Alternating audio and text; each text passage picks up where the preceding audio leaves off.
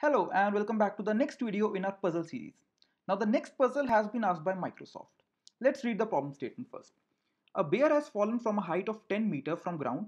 It reached ground in square root 2 seconds. What color is the bear? Now this puzzle was part of a tech interview and of course the guy was prepared for recursion, DP, backtracking, data structures, algorithms and whatnot.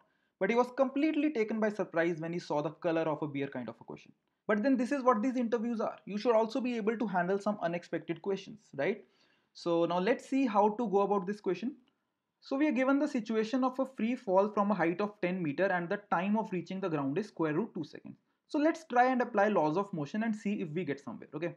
So obviously S is equal to ut plus half at square.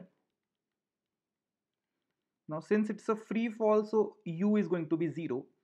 S is 10 half into a into root 2 square. So we are getting a is equal to 10, right? So acceleration due to gravity is slightly more than 9.8, which is the usual one.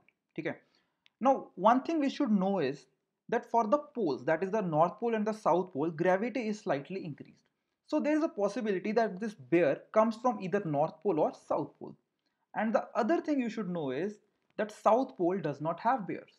So the only possibility is that this bear comes from North Pole and the North Pole bears are white in color.